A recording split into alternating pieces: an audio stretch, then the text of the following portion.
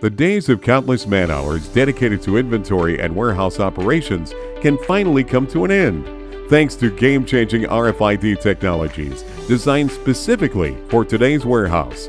At Zebra Technologies, we help you transform warehouse operations with accurate real time insights on picking, packing, and shipping operations. Say goodbye to manual inventory processes that consume hours of the workday.